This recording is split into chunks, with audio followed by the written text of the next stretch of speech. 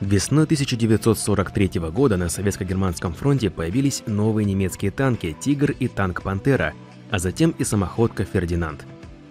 Вооружение новых боевых машин противника позволило им увеличить дальность эффективной борьбы с отечественными танками по сравнению с 1941 годом в 4 или 5 раз. Появление этих боевых машин на поле боя вызвало необходимость создания для Красной Армии более мощного противотанкового вооружения. Здравствуйте, друзья! Вы на канале Time to Upgrade, и сегодня мы представим вам советские самоходные установки времен Второй мировой войны. Самоходная артиллерийская установка Су-76М. Установка Су-76 создана на базе легкого танка Т-70 как мобильное средство сопровождения пехоты. В передней части установки слева размещался водитель, а справа моторно-трансмиссионная группа.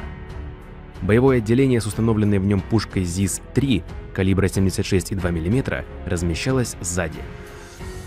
Несмотря на некоторые слабости в боевых свойствах Су-76М, машины этого типа широко использовались в боевых действиях.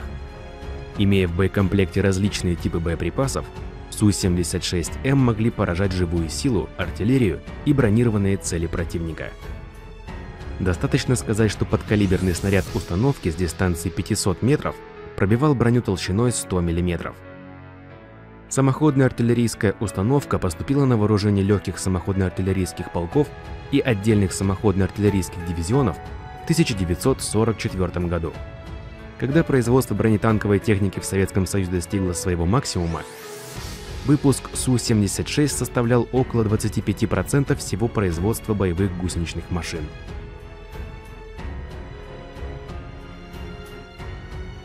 Противотанковая самоходная артиллерийская установка Су-76И. В числе трофеев Красной Армии насчитывалось значительное количество исправных и боеспособных немецких танков Т-3 и Т-4. Поэтому в 1942 году было принято решение разработать на их базе самоходно-артиллерийские установки, вооруженные советскими пушками ЗИС-3 калибра 76,2 мм. Самоходная установка Су-76И имела следующую компоновку. Моторно-трансмиссионное отделение находилось сзади, а спереди была смонтирована боевая рубка с установленным в нем орудием. Механик-водитель располагался слева от орудия. Для наблюдения за полем боя командир имел башенку со смотровыми приборами.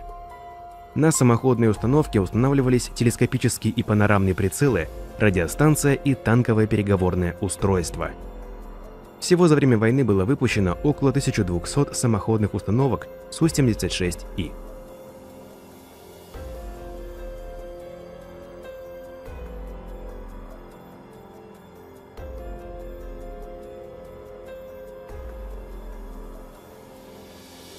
Штурмовая самоходная артиллерийская установка Су-122.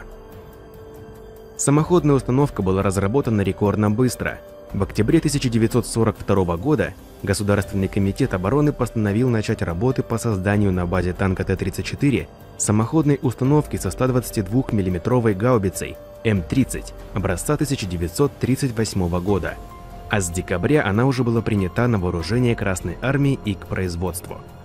Су-122 предназначалась для поддержки и сопровождения танков. Она поступила на вооружение самоходно-артиллерийских полков. Конструктивно самоходная установка представляла собой шасси танка Т-34, отделение управления и боевое отделение которого занимала закрытая со всех сторон броней рубка.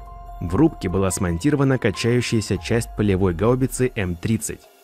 Для защиты противооткатных устройств гаубицы использована выступающая вперед и качающаяся вместе с орудием массивная бронированная маска – Приборы управления огнем позволяли вести стрельбу как прямой наводкой, так и с закрытых позиций. Боекомплект гаубицы включал осколочно-фугасные и кумулятивные снаряды. Последние пробивали броню толщиной 100 мм. На самоходной установке монтировались радиостанция, а также танковое переговорное устройство.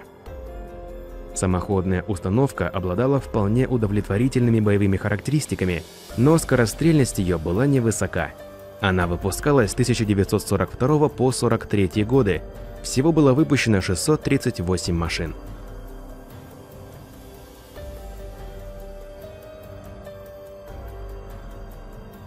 Средняя самоходная артиллерийская установка Су-85.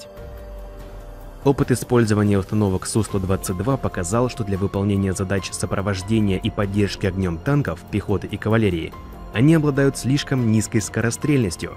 Войскам требовалась установка, вооруженная более скорострельной артиллерийской системой.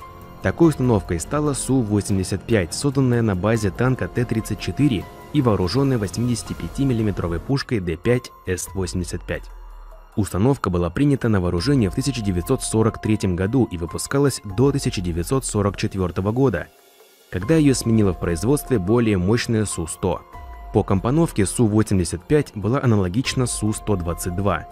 Моторно-трансмиссионное отделение расположено в задней части корпуса, а бронированная со всех сторон рубка с установленной в ней пушкой – передней и средней части – Самоходная установка предназначалась главным образом для стрельбы прямой наводкой с коротких остановок.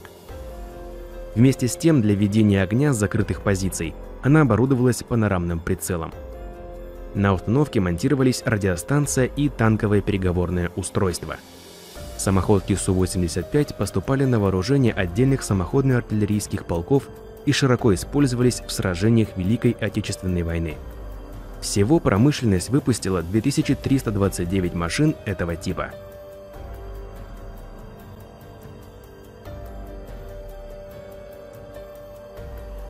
Самоходная артиллерийская установка Су-100 В связи с появлением у противника танков со все более мощной броней, было принято решение создать на базе танка Т-34 более мощную, чем Су-85, самоходную артиллерийскую установку. В 1944 году такая установка была принята на вооружение под названием Су-100. Вооружение состояло из 100 миллиметровой пушки Д-10С, установленной в рубке такой же конструкции, что и рубка Су-85. Отличие заключалось лишь в установке на Су-100 справа спереди командирской башенки с приборами наблюдения за полем боя. Выбор пушки для самоходной установки оказался весьма удачным – в ней прекрасно сочетались скорострельность, дальнобойность и меткость. Она прекрасно подходила для борьбы с танками противника. Ее бронебойный снаряд с дистанции 1000 метров пробивал броню толщиной 160 мм. Так же, как и на Су-85, на Су-100 устанавливались танковые и артиллерийские панорамные прицелы, радиостанция и танковое переговорное устройство.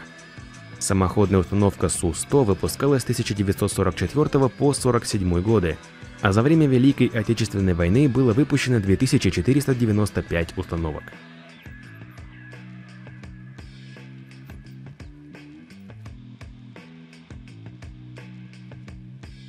Самоходная артиллерийская установка ИСУ-122 Самоходная установка ИСУ-122 создана на базе танка ИС-1. В боевой рубке устанавливалась качающаяся часть 122 миллиметровой полевой пушки а-19 образца 1937 года. Пушка крепилась на станке со смещением вправо от продольной оси корпуса. Пушка А-19 имела относительно невысокую скорострельность – 2,2 выстрела в минуту.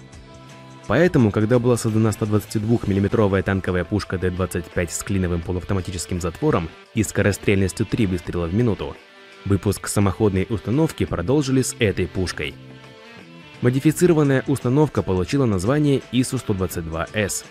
Внешне она отличалась от своей предшественницы наличием дульного тормоза и маской меньших размеров.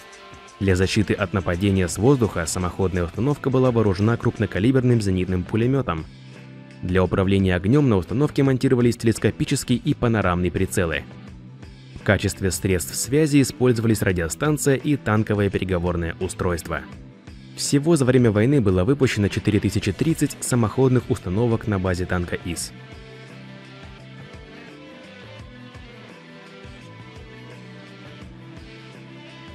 Тяжелая самоходная артиллерийская установка Су-152. Самоходная артиллерийская установка принята на вооружение и запущена в производстве в феврале 1943 года. Своеобразным рекордом является то, что на ее проектирование и изготовление опытного образца было затрачено всего 25 суток. Установка была создана на базе тяжелого танка КВ-1С. При этом качающуюся часть мощной 152 мм пушки гаубицы МЛ-20 практически без изменений установили в раму станок. Боевое крещение самоходные артиллерийские установки Су-152 получили на Курской дуге. Их появление на поле боя было для немецких танкистов полной неожиданностью. Эти самоходные установки прекрасно проявили себя в единоборстве с немецкими танками «Тигр» и «Пантера». Их почти 50-килограммовые бронебойные снаряды не только пробивали броню вражеских машин, но и срывали с них башни. За это фронтовики с любовью называли ее «Зверобой». Самоходная артиллерийская установка выпускалась серийно с февраля до декабря 1943 года. Всего было изготовлено 670 Су-152.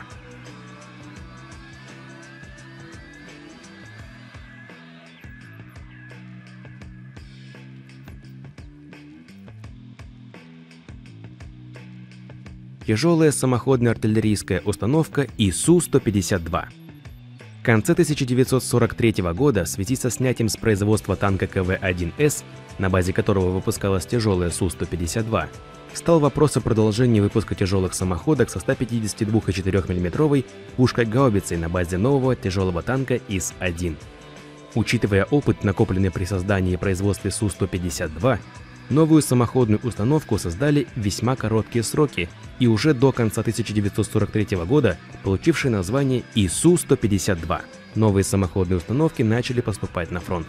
Как и у Су-152, у новой самоходной артиллерийской установки пушка-гаубица смонтирована со смещением вправо в боевой рубке, расположенной в передней части шасси. Выступающее вперед противооткатное устройство орудия прикрыты массивной броневой маской.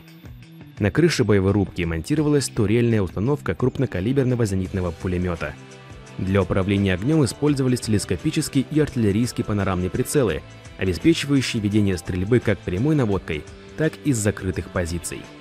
В 1944-45 годах в Красной армии уже появилось достаточное количество специализированных истребителей танков, поэтому боевые столкновения ИСУ-152 с вражеской бронетехникой были уже не такими частыми, как у Су-152 в 1943 году, когда последняя была единственным советским мощным противотанковым средством и Су-152 постарались больше использовать в качестве штурмового орудия, поскольку ее огневая мощь существенно превосходила любые другие советские танки и САУ. Всего за время войны было выпущено 2825 установок ИСУ-152.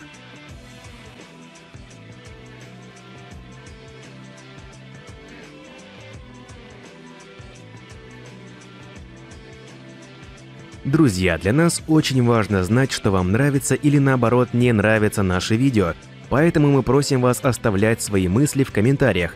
А если вы хотите поддержать наш проект, тогда подписывайтесь на наш канал. На этом у нас все. Спасибо, что посмотрели этот ролик до конца.